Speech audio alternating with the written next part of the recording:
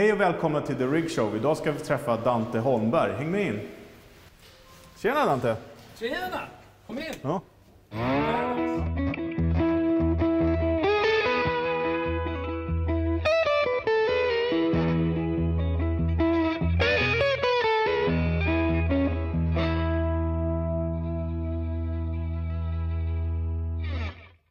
Hej och välkomna till The Rig Show. Idag ska vi träffa Dante här och kolla på dina fantastiska prylar. Men innan vi sätter igång så ska jag säga tack till er som stödjer oss genom att handla oss Malmö Musik och These Goes to 11, eller These Go to 11 som jag har blivit tillrättavisad med. Eh, som det heter faktiskt. Kolla på filmen häromdagen också, riktigt bra. Eh, koden TRS. Jag gör så här, Jocke skriver in den. Du, du, du, du. Bra handla hos dem, ange den koden så får vi en liten kickback så vi kan träffa sådana här fantastiska människor som Dante. Mm. Idag är vi i din replokal. Vi Mm. har en uppsjö med prylar här. Eh, och jag tänkte liksom, du har ju en lång musikalisk bakgrund, eh, spelat i massa band, men Mm. nu är du verksam i bandet, Future Elephants precis. med ett question mark. Ja. Eh, och ni finns på Spotify också? Mm. Spotify, Deezer, Youtube, Ja, alla de där. precis. Och på vinyl förstås. Förstås. Ja. Eh, Så det behöver komma in och vi kan också kommer lä- länka lite till eh, grejer du har gjort Mm. på, på Facebook. mm, roligt. Ja, så Mm. dyker vi in i prylar istället Mm. just nu. Ehm, Det som är viktigt i livet. eller hur? eller hur? Exakt. Ska vi börja med gitarrerna? Ja, Vad, vad, vilken, vad ska vi börja med? ja, men det här är ju min Main-guran. main-gura som då har fastnat där. Ja. Så. Det här är en eh, Gibson SG Junior TV Model. Mm. från 1964. Eh, och den har då en P90. Jag, alltså jag är lite förtjust i juniors liksom. Det är ett ljud. Eh, ja men gamla Leslie West-grejer. Det blir ju lite, eh, vare sig man vill eller inte, det lite, råder lite olika meningar om varför den är bra. Men många Mm. säger för att det inte är en extra mick här som, Ja, som håller i. Liksom. Eftersom det är magneter. framförallt på juniorn också och SG'n som är ganska smal. Mm. Så fräser man ur här och har en, en halsmick. Då är det väldigt lite trä här. Ja, Så det är väldigt många sådana standardäsken som har gått av i halsen. Den här har ju gått i golvet ja, men några gånger liksom. ja. Men den är hel. Så att det finns flera, det, det är en praktisk eh, detalj som, som eh, är en fördel för juniorn. Eh, att den heter TV beror ju på att den är från 64. Då hade man svartvit TV. Mm. Alla som var med i så här, Top of the Pops och vad de här popprogrammen hette på den tiden och hade den röda gitarren så såg den jävligt grå och ful ut ja i TV. precis. Ja. Så Gibson tog fram, vi måste göra en gura som är snygg i TV. Mm. TV model. Men var inte de gula? Finns sådana också. Ja. Den här... Jag tror att det är de, de när man snackar om Mm. TV model så är det väl de gula man tänker på första hand. För Ja. Vad heter de här? Arctic White va? Eller vad heter de här? Olympic. Nej, jag tror inte. Ah, jag, vet tror att det är, inte. Jag tror det var Fender som körde Olympic. Eh, men eh, de, de är s- svincoola. Men det, Ja. de syntes ju bättre då. Och, och det som är kul med P90 också är just när en sådär att man får ju liksom alla möjliga sound. Ja, ja, ja. Och här har jag egentligen inte bytt någonting. Arne Arvidsson eh, har ju bandat om den Mm. förstås några gånger. Eh, och nu är det slutbandat eftersom Arne inte finns längre. Så Nej. att, eh, nu får det vara de här banden. Jag vill Eh. ha kvar Arnes band. Är det stålband eller? Eller vanliga? Nej, för Nej. helvete. Nej, man vet aldrig. Nej, det har jag provat. Ja, De var på i, i en timme. okej. Sen åkte jag till Arne Ja. och tog bort dem. På den där guran Ja. faktiskt. Nej, Nej, han, förstod han du. gillar ju annars, eh, han förespråkar det. Han gjorde sitt test när han slänger dem på, Lyssna här sa han. Slängde han ett vanligt band på golvet så. Lyssna på det här. Ding, ding, ding, ding, ding. Mm. Säg sig självt sa han. Det beror ju på vad man vill ha för ljud. Absolut. På en klassisk gitarr som det här tycker man ska hålla sig borta. Men det är originalpegsen. Ja. Eh, och det är eh, originalstall. Eh, det går inte ens att intonera. Liksom. Nej. Eh, och vibrolan, Gibsons vibrola, funkar klockrent för mig. Och björntanden här också. Ja, Otroligt fin. så att, ja, det här är min main, Gura. Och,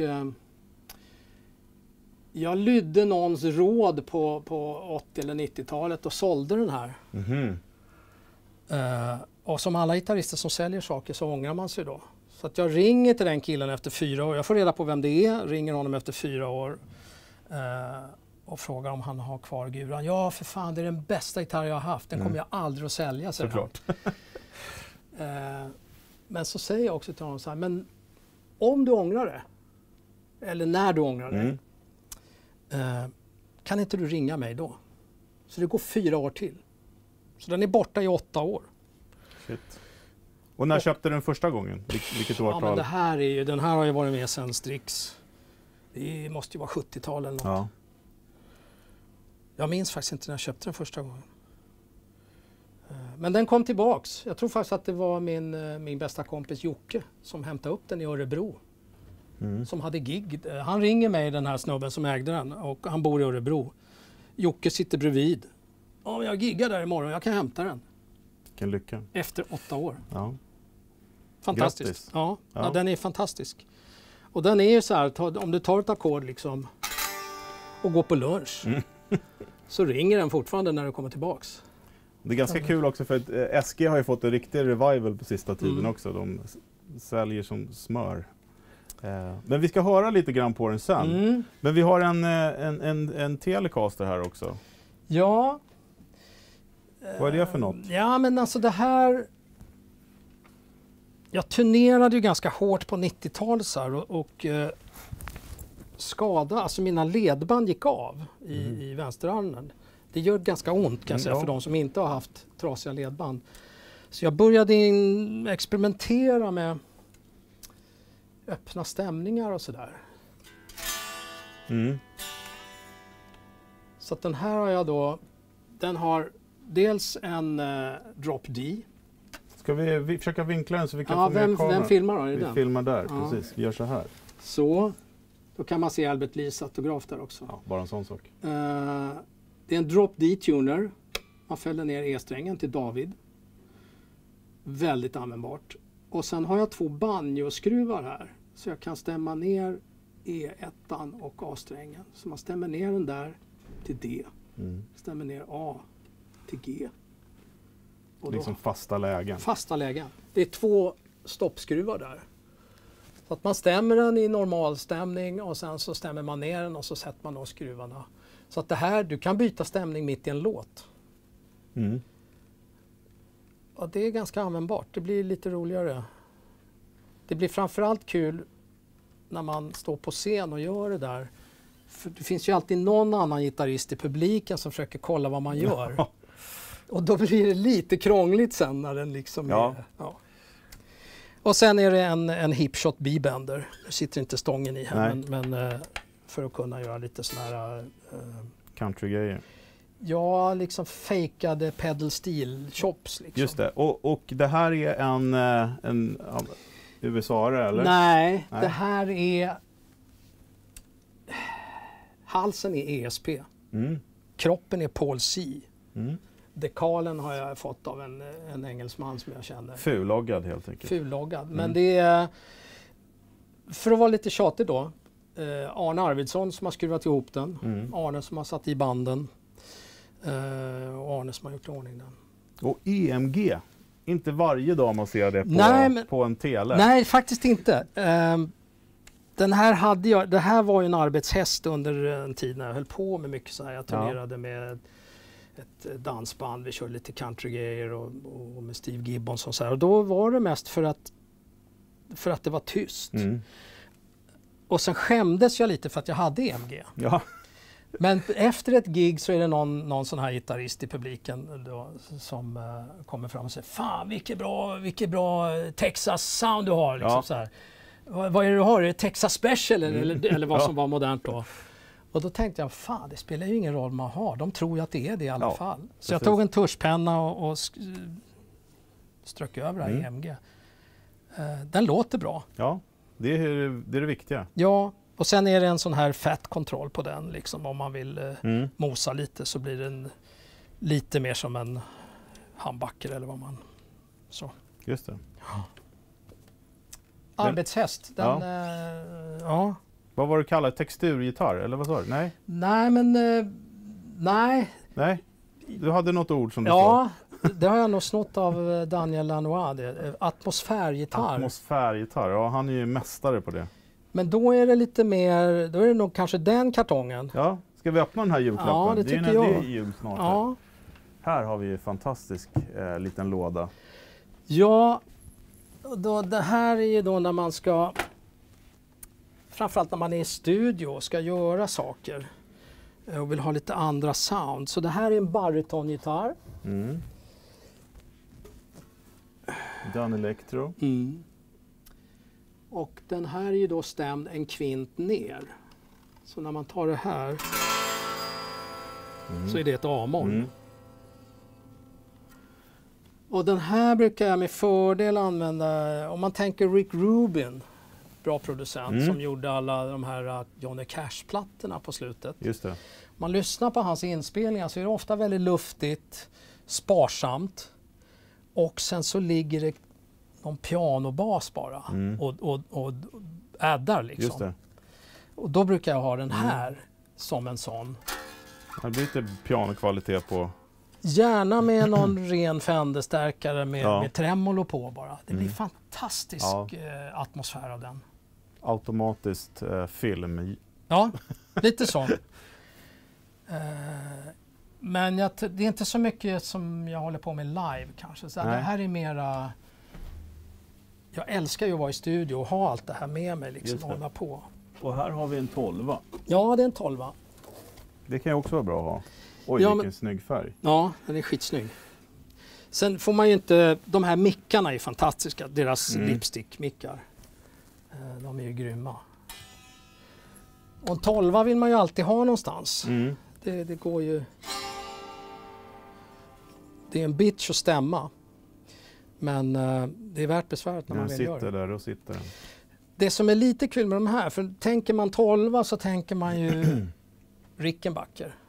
De Ja. flesta gör det, i alla fall i min ålder. Mm. Ehm, vad jag vet så var väl det de första eltolvorna. Man gav väl en till George Harrison och en till uh, Jag vet inte under Fender om de var efter eller före eller Nej. och Gibson med sin dubbel. Eh, Men det som ändå skiljer den här från Rickenbacken Mm. och som gör att det låter lite annorlunda. De här har den tunna strängen på andra sidan. just det. Så när du ring så, så är den tunna strängen först. Mm. Oktaven alltså. På Rickenbacken så sitter den på andra sidan. Mm. Eh, och för de flesta människor så spelar det där absolut ingen roll. Men vi som spelar, det blir lite annat sound. Jo. Jag tycker det här låter roligare. Mm. Men det är ju tycke och smak. Men det, det blir faktiskt väldigt roligt. Det blir mer ringigt Mm. När, den, när oktaven kommer först. Det är lite andra material i de där också. Mm. Masonit. Ja men där. det är lite så här. Eh, jag köpte ju de här.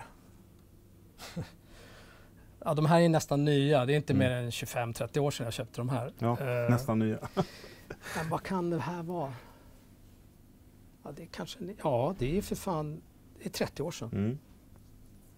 Välbevarade. Ja men välbe- de är inte jätteturnerade faktiskt. Utan de är, åker mest med i studio. Mm. Eh, och det här caset har ju haft lite olika inredningar liksom. På 70-talet då hade jag en Les Paul och en Strata. Mm. Ja, men det är- gediget. Ja, det är ett gammalt Rainbow case. Det, det är väl de första flight-caserna som kom till, till Sverige liksom på den tiden. Mm. Gammal koffert. Ja. ascoolt. Så att, eh, ja. Och sen så har vi en till då som du har här, den här rackaren. Ja, det där är också lite... Det är ju så här... När man jobbar åt andra eller jobbar i studio så vill man vill man ha ett visst sound och, och vill man att det ska, ja, men det ska låta lite americana eller lite country. Mm. Ja, men vad då?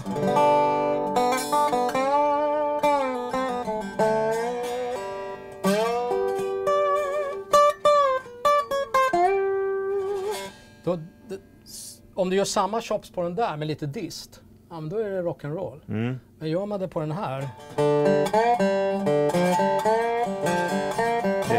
instant root. ja men liksom, Men vad, vad är årsmodell på den här? Det var en bra fråga. Den här har jag köpt eh, när jag var lite yngre så trodde jag att jag skulle bli en fena på pedal steel. Mm. Så jag umgicks en del med Janne Lindgren eh, som tyvärr inte finns med oss längre men som på den tiden han alla plattor från 70-talet som har en pedal steel. Mm. Det är Janne Lindgren. Mm. Alla. Så att vi höll på och träffades och han försökte lära mig grejer och sådär men fan det är ju Det är svårt. det är jävligt svårt. Men jag var så glad över vår eh, vänskap där på något vis och han, var fan, han visade mig jättemycket roliga saker. Så jag tänkte jag måste ändå ta med mig det här på Mm. något vis, förvalta det här. Mm. Och vad kan det, det här är också 30 år sedan. Mm. Liksom. Eh, och då hade han den här. Så det är en riktig dobro. Ja, Eh, och den är ju så vacker. Om man inte har en sommarstuga med sjöutsikt och tittar ut över sjön, då är det bara att vända på den här liksom. Så kommer segelbåten där. och precis. Och det här är ju en sån här square neck. Det här är en square neck. För, Eh, för de som inte har satt. Så den här är ju liksom byggd för att spela i knä. absolut. Ja. Så det går ju inte att liksom nej, ta går- runt nej. den här. Och action är ju som Ja, Ja, men det är en, ens nybörjargitarr var ungefär. Som man hade från Hobbex. Med två centimeter action. Det finns lite olika koner. Det här är en dobro-kon, en, en tree cone. Mm. Eh, nationalen har en annan eh, typ av kon och sådär. Och sen finns de också gjorda med trä Mm. och bara konen är i metall. Jag tycker man får ett, ett jag tycker man får ett, ett mera ringigt ljud i den här. Ja. Alltså det, Jag har eh, singelkonen och den är ju eh, volymstarkare ja. och mera middig liksom. Mm. Eh, men det här är ju, ja, det är väl de två Det är klassikerna. därför man byggde de här från början. För, För att höras. för att Ja, höras i precis. storband när det var liksom blås och grejer. Ja, det är ju liksom mekanisk eh, Ja. högtalare. mm. Det är coolt. Ja, jättefint. Den, eh, men jag, jag är faktiskt osäker på årsmodell. Jag har Mm. aldrig brytt mig om att kolla sånt där. Det får vi Det finns säkert serienummer här. Ja, det gör det. återkomma vid Vi får, ja, men vi får kolla det. Men det är bra segway över till den där eh, åldringen som Mm. Ja. är väl troligtvis det äldsta här inne va? Förmodligen är den det. Ehm, det här är ju då... Det här är ju en Gibson. eh, BR9 tror jag den heter. Mhm. Den kan vara från 40-talet eller 50-talet. Den är väldigt tidig. Det är en av de alltså, första elgitarrerna som Gibson gjorde. Man, man satte en, en mick på en, på en plankbit och körde. Eh, Så den här, det är ju liksom innan Les Paul och Mm. innan. Och det här är ju också då en enspolig mick. Så att det här är väl någon form av föregångare till, till, till P90. Just det. Bara de här rattarna.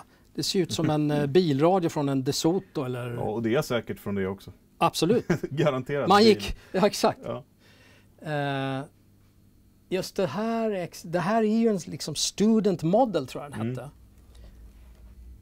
För då har man då satt siffror här på banden.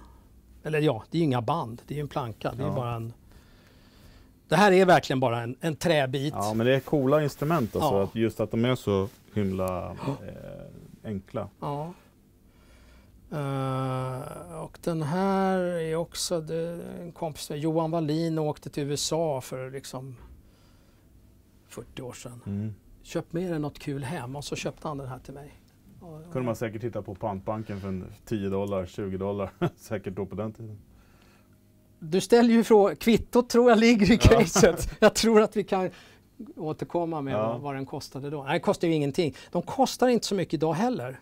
Nej, inte förhåll precis, men de betydligt mer än vad de gjorde då. Absolut. Och många vill ju åt mickar och sånt Mm. och elektroniken Mm. som Mm. man kan ha, använda till elgitarren. Men som sagt, det är en träbit med strängar på. Mm. Alltså det är, det är ingen precision, liksom, det finns ju inga band, det finns ingenting. Du kan inte intonera något. Alltså, Nej, det är går inte att göra någonting. verkligen på ja, handen. Absolut, absolut. Det här är coolt. Men Ja. det ska vi kanske lyssna lite på sen också. Mm, tycker jag vi ska göra. Spännande. Ska vi gå över till starkarna här? Ja, Det är en, en, en eh, härlig rigg du har här. ja, ja, kanske. Ja, det här är ju... Var vill du börja? Ja men vi börjar, med, vi börjar uppifrån tycker jag. Ja, alltså jag är ju förtjust. Alltså alla vill ju ha en Marshall-rigg. Ja, inte alla. Nej, men eh, Många. jag överdriver Ja. alltid. Det kan min fru intyga. Nej, men jag, sen är det så här, jag vill ju kanske ha någonting som håller att turnera med. Ja. Jag, ställde, jag frågade Tommy Folkesson som då hjälpte mig och byggde om mina förstärkare. Mm. Eh, vad kan man turnera med utan att varje gång man öppnar släpet liksom så, så, så ligger den i delar? Mm. Ja, men då är det absolut Fender. Mm. Och första, alltså första Marshall-stärkarna var ju i princip en, en, en, en kopia på en Fender Bassman. Ja. Så att det här är, det är två stycken Dual Showmans från samma år, 1964. Mm. Och det är lite, den heter då Dual Showman. Och den heter bara Showman. Mm. Båda är blackface, men, men eh, precis det är samma år. Jag vet inte varför det är sådär. Eh, tyvärr har den här, jag tycker de här är mycket snyggare än, än de som kom efter som hade tremolo och, Mm. eh, eller- och reverb. De är lite högre. Mm. De här är jävligt snygga. Eh, nu ser det lite ihopträngt Ja precis här. ja, de är, det är en decimeter till ja. Exakt. Det, det var väl det som eh, Ted Nugent körde på typ va? Peter Green. Ja just det. De är lite större och det, då var väl Silverface, Mm. just det precis. Exakt. Men det är också en liten, Peter Green är min husgud förstås från den tiden. När, när de, eh, de hade ju spons från Orange med Fleetwood Mac Mm. och hade ju en herrejösses rigg liksom. Det, det var allt. Eh, och sen helt plötsligt så ville Orange ha betalt. Då köpte de Fender istället. så att så bra var Ja. Orange. Ja. Eh, och det lite, och då, han körde med Dual Showmans men han är ju re, reverb-freak. Liksom. Just det. Så att han hade ju de, de som är lite högre med reverb i. Mm. Eh, jag tycker de här är snyggare. Det är, li- jag är lite fåfäng också. Jag tycker Ja de, men det får man vara. ja, det får man vara. Men den där övre den är, den är eh, folkesonnad. Det är Folkesson. Ja. Den här är helt original. Ja. Den har jag köpt från Sveriges Radio tror jag. Den har Jaha. stått i en studio. Eh, aldrig turnerad med. Mm. Så att den är fan i nyskick. Och den driver Leslie. Mm. Och vad är det för Leslie då? Ja, Elka eller vad Nej. är case, alltså bygget är ju ett soundside. Jag tror att det där är en underdel till ett Leslie som hette 760. Ja just det. Och det här är underdelen utan, Mm. Man har kapat den helt enkelt. ja, För den, det 760 Leslie ser ut sådär. ja. Nu när du säger det. Så. Så det är en sån. Eh, 15 tummar i va? Ja, Ja, nu sitter det nog en Electro Voice eller Mm. någonting för att den ska palla lite. just det. Ehm, och den där... Ja, men jag alltid, det, det har ju kommit massa pedaler så här, som, som låter som ett Leslie. Mm. Eh, och det vill inte jag ha. Jag vill ha ett Leslie. Ja. Jag gillar ju, på 80-talet så trodde man ju när man samplade sånt här, då tog man bort alla såna här mekaniska ljud Mm. och när den ökar och minskar i hastighet. som är fantastiskt. Knapptryckningen, det där. Jag tror på alla våra plattor vi gör med Future Elephant så hör man det här. Mm. Just det, hör man hur det rampar upp. Alltså, Men det är ju så också, om man har spelat med en riktig Hammond-orgel med Leslie, då eh, det är Mm. no turning back. Det är, som att, ja, det är det är som att spela live med Pyrrho. En gång Pyrrho, alltid Pyrrho. Ja. Så att, eh, ja, så att Ja. Den, den här har då Folkesson byggt om. Ja. Det är fyra kanaler som man kan byta med där. Mm. Eh, en superclean som i princip är liksom originalkanalen. Just det. Eh, och då är, har man den cleana kanalen och skaftar på fullt, Mm. då låter det ju liksom, då har du ju disten där. Ja.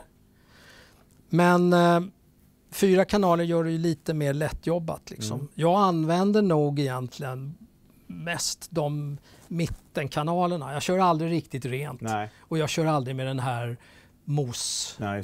Utan jag har eh, de här Crude och Crunch tror jag Mm. han kallar Ja, dem, Folkesson. Det är de två ljuden jag använder faktiskt. Eh, Och, den, och den går in i, i, i 412 den går in i 412 Ja. Och det här är ju en den här extra höga underlådan. Byggdes bara 1967 och har det här klassiska Eh, jag vill kalla det för bluesbreaker-tyget. Eh, för det är samma tyg som sitter på, på den här bluesbreaker-kombon som Clapton har på Bluesbreakers-plattan. Fast då är tyget vänt åt andra hållet.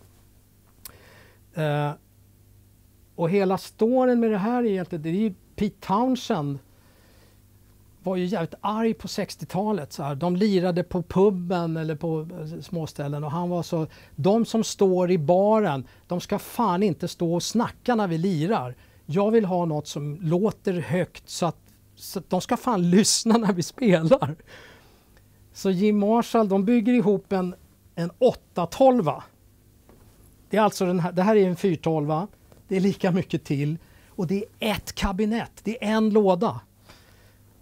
Det är ju, en, det är ju att släpa på en sommarstuga liksom. Så att, ja, de åker ut och giggar med den där och efter helgen eller liksom någon vecka så, så kommer Townshend tillbaks.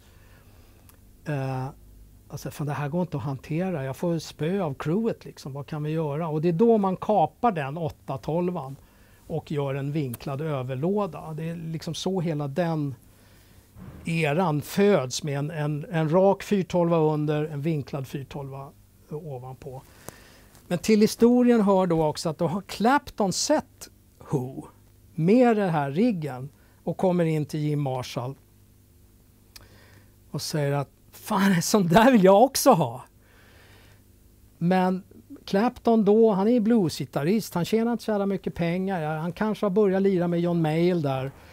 Uh, och då säger Marsha, men du kan inte, fan du har ju ingen turnébuss, du har ingen crew som sköter det där. Fan, John May ligger och sover på sin orgel i transitbussen.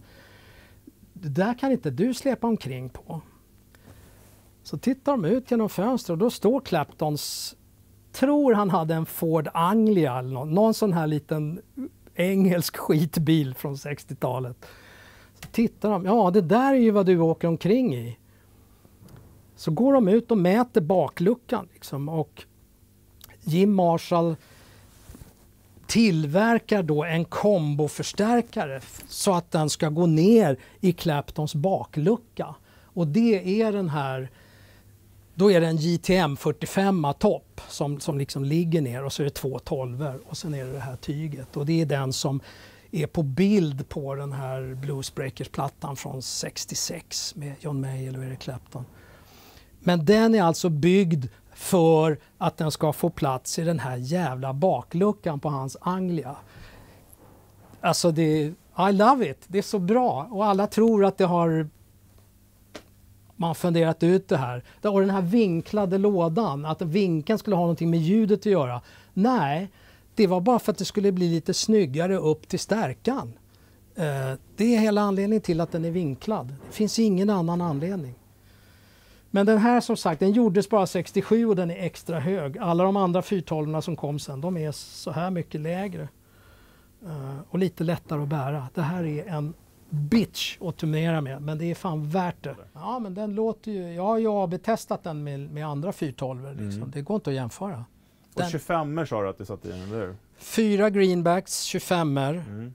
uh, Pre-rolla blir det ju då, eftersom ja, den är så tidig. 15 ohms vill ja. jag nog säga att det är. Och då är det, de är ju... En är omkonad.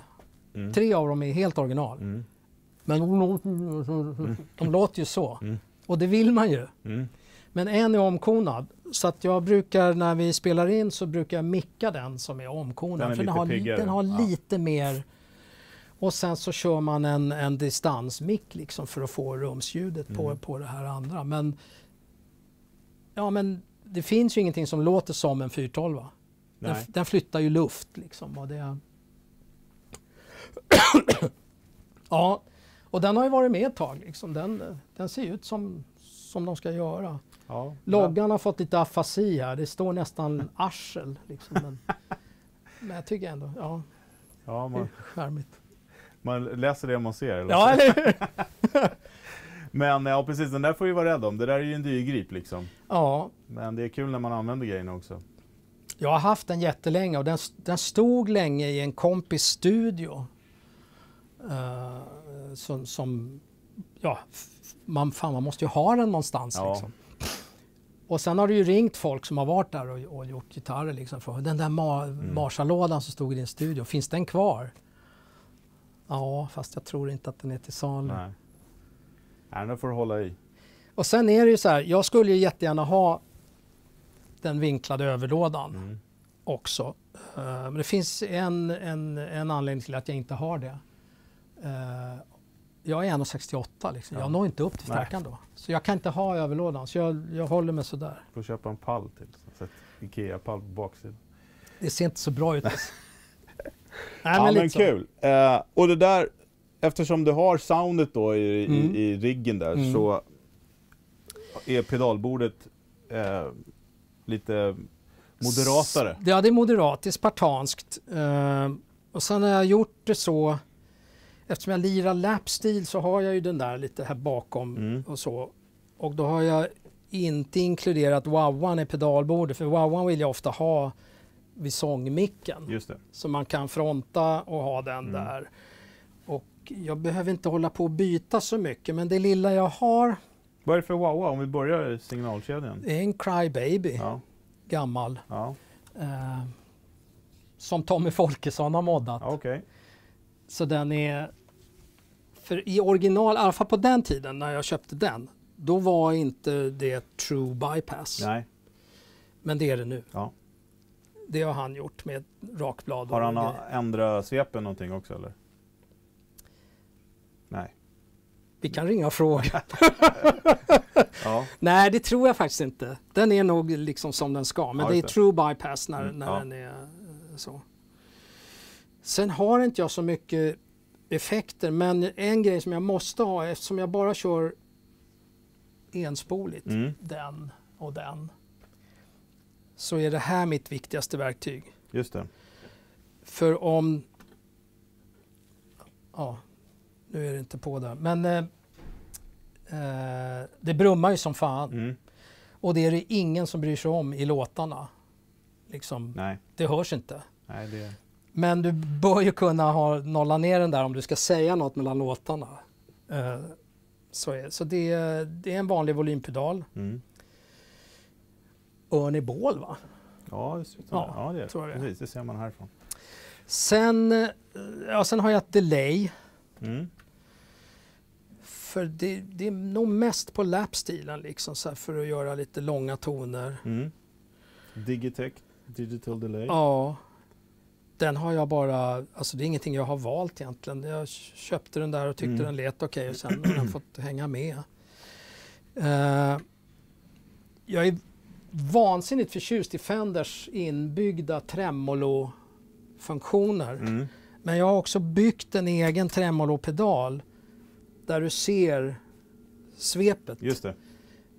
Så det är egentligen, när vi är i studio så ska jag nog säga, då kör jag nog på originaltremolon.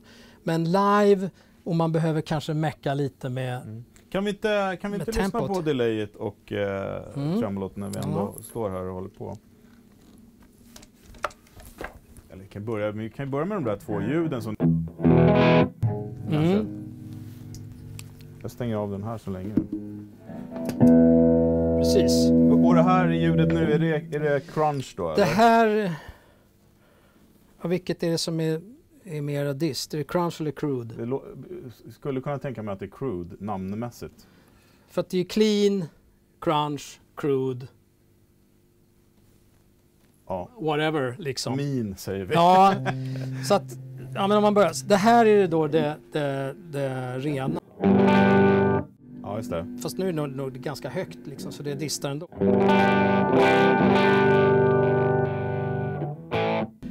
Jag har sänkt volymen lite på Mm. mitt det här.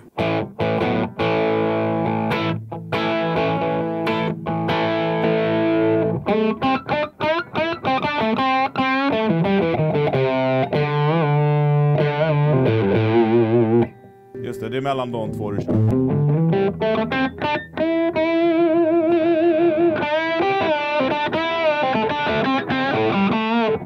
Där fjärde kanalen? Ja, jag tycker det blir lite för mosigt. Ja. Jag gillar ju det här.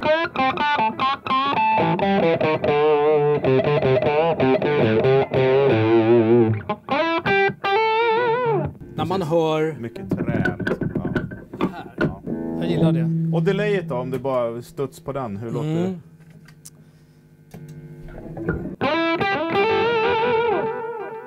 Ja, det. På guran så är det väl lite såna här.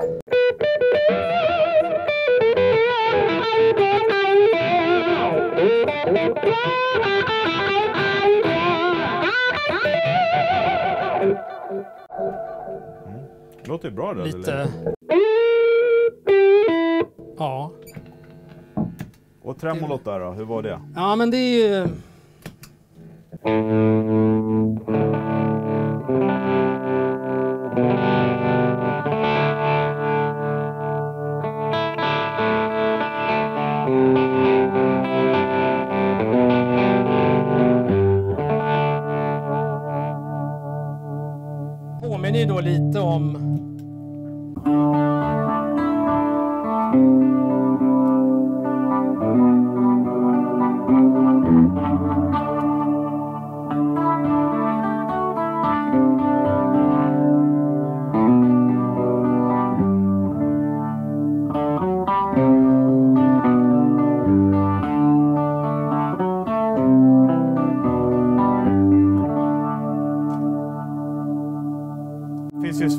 grejer som slår ett riktigt Leslie, så är det ju. men det är ju... Det är ju Men jag, det var- lät bra det där tremolot. Jag, jag tycker om när det inte tar över för mycket. Mm. Det var ju väldigt mycket bra in i soundet liksom. Sen har jag haft en kompressor här Ja, som jag aldrig använder. vad var det då? En MXR. Men du har en kompressor nu? Ja, för den där låter mycket bättre på lapstilen Just det. än MXR. Så den där är alltid inkopplad på den. Mm. Här är ju då en switchbox som jag har byggt själv. Mm. Eh, som är ganska enkelt uppbyggd. Två knappar. Här byter jag mellan gurorna. Mm.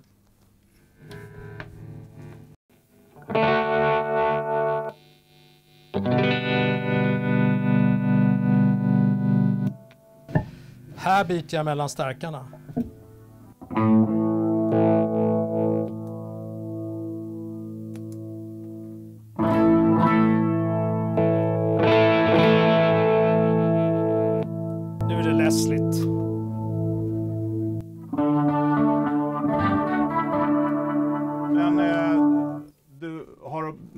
På samtidigt va? Eller? Också, eller?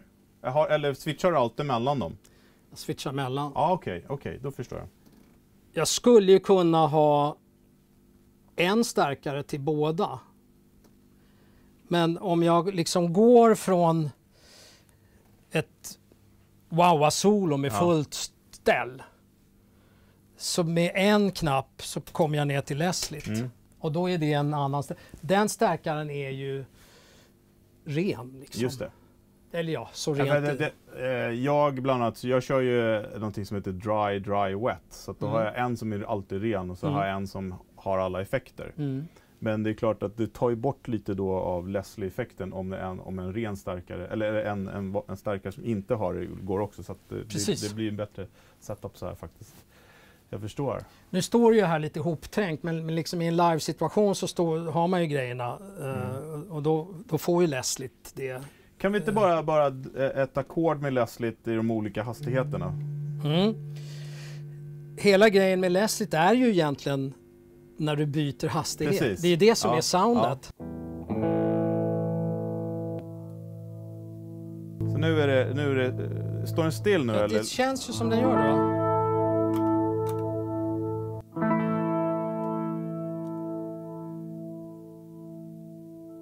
Nu snurrar den sakta. Ja.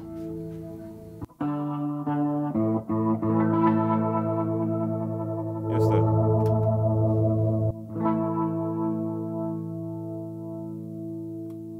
Och det coola är ju precis som du säger, det är ju när den rampar upp och Ja, ja. när den rampar ner. Ja.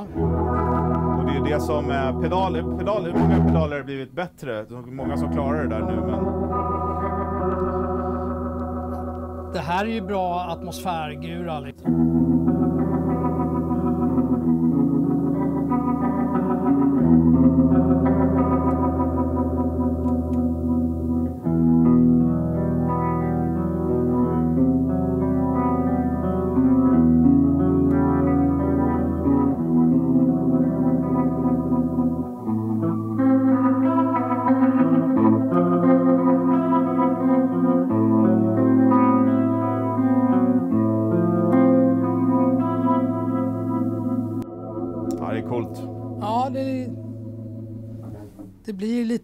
Tjusigt. Och så en eh, pitch black stämapparat va? Korg, är det inte det? Ja. Och Ko- Adam, Cox Adam kör för strömmässigt. Mm. Där blev det en väldig skillnad. Jag hade ju någon annan eh, sån här Mm. maskot typ. Ja, precis. Det funkar inte alls. Den Nej. där är värd varenda krona Mm. att investera i. Ett bra, en bra strömförsörjning är Mm. ju hjärtat. Absolut. Eh, så att är man missnöjd med sitt ljud eh, kan man börja där. Då gick jag till eh, These Go to Eleven Ja, precis. och sa jag måste ha bra strömförsörjning till mitt pedalbord. Mm. Och då la de upp den där på disken och då tog jag upp min plånbok Mm. och så gick vi därifrån och Ja, blev de är nöjd. bra med prisvärda de där. Skitbra, Ja. jättebra. Eh, Och krullkabel också, förlåt. ja men ju- alltid. Ja, All, alltså det är så här. Det, ibland får jag kritik för det. Så här, men för fan Dante, du kan inte köra med krullsladd. Det snor ju skitmycket diskant. Mm. Ja. det Alltså, var det som var Hendriks trick ju. Att det var man kan mata på dem där med ganska mycket diskant Ja. och så tar krullkabeln bort det. jag, jag kör bara krullsladdar. Det Mm. går inte att ha något annat. Det är, en del, jag har ju några riktigt gamla. Med liksom bakelit. Mm. Coolt. Så. Ja, och så har du, du har en leksak till här. Ja, jag, jag tar ju liksom ut istället för att ha massa pedaler försöker jag hitta på andra roliga saker Mm. och försöker hitta saker som inte alla andra Mm. kanske håller på med. Mm. Det här är en e-bow som, som sätter strängen i, i, i svängning. Och då får man lite, ja, vad ska jag, det är lite Robert Fripp, Ja, det lite, lite King Crimson, lite stråke, det är väl det.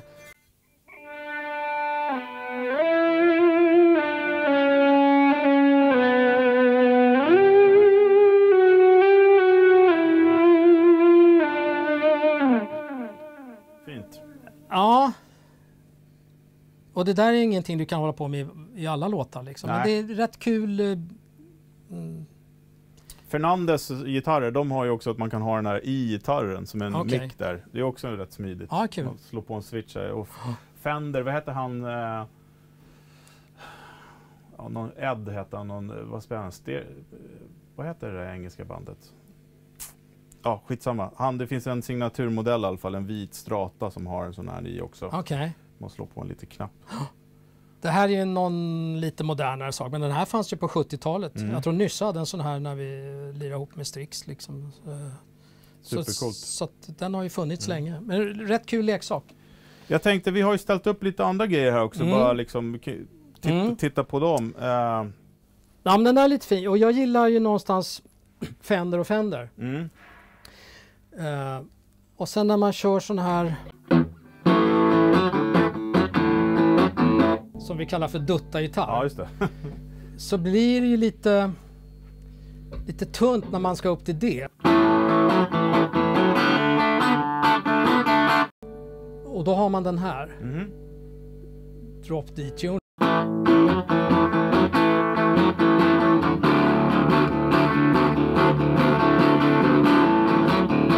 Just det. Alltså det moset när man får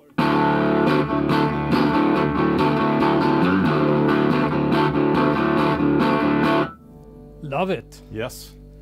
Och det, jag såg att det satt en eh, Vintage 6 i den där också. Mm. Så att det är inte originalupptalen, för den hade ju inte pallat det där. Nej.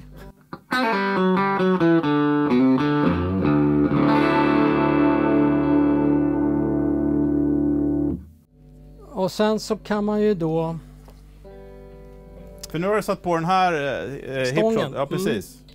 Som du kör med höften då alltså? Ja, det finns ju olika varianter på B-bender, Mm. men det här är hip shots. Eh, som För är- andra så är det ju att det, man drar med... eh, Det sitter Ja, en, och då måste du fräsa ur massa Exakt, grejer. ja. Den här kräver ingenting. Mm. Du lossar på, på den, Mm. lägger dit den och skruvar dit den så är det färdigt. Jag fick fila lite där, men, Mm. men i princip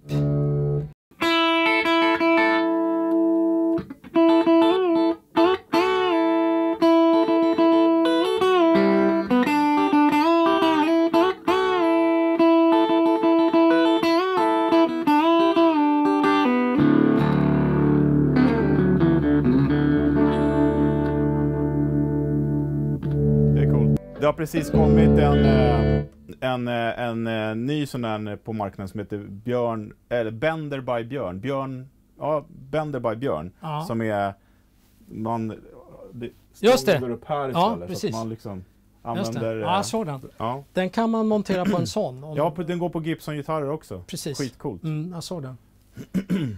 Men det är häftigt. Men det är eh, 64 Mm. och här var det en, en Gibson... En Gibson Ranger. Eh, och den... Ja, vad är det? Det är väl 50-tal. Ja, Den här är ju liksom, den har ju en tremolo. Den här har tremolo och reverb. mm. Den här har bara tremolo. Den där har ingenting mer än att den låter så in i helvete Mm. bra. GA30, klassiker. Men det här vet du, med träpedalen till tremolo. Mm. Alltså det är... Man blir ju... Ja. Precis, jag sa det. Det var ju eh, när, vi, när vi kom in här att eh, en viss herre som heter Howard Dumble, han gjorde ju också träpedaler till sina Dumble-förstärkare. Mm. Eh, men den här som sagt var, eh, GA30 där, den, Mm. den är ju riktigt grym förstärkare. ja, den är grym. Den, och den är inte på mer än 14 watt eh, enligt ritningen om man Ja. tittar. Eh, och den, alltså alla de här åren som jag åkte med Strix Q och, och Ugglar och där så är det där det där är den jag hade Mm. i studio och live. Jag hade aldrig något annat. Jag hade bara den. Ska vi lyssna med, eh, med, eh, Ja, kan vi göra. med SG'n? Ja, kan vi göra. För det är väl den man ska ha den här va? Eller lapstilen. Ja, då kör vi lappen. Precis, den har vi inte hört än. Ja, det där är en favorit. Och den, har jag, den där köpte jag liksom... Vill du ha bordet i, också in i den? eller? Nej! Nej? Fan, en sladd. Ja, kör den här då. Vi kör... Ja. Ta den. Så där. Har du den? Mm. Vilken ingång kör du på? ja, men det här är också lite kul. Det är tre instrumentingångar och Ja. en mickingång. Fattar du liksom hur dragspel, bas, Ja, gitarr och så sången Allt som gick. Men jag kör i mickingången. Ja. Eh, av någon anledning så blir det ju lite mer... Jaha, då kanske det är lite brummigt att sitta där.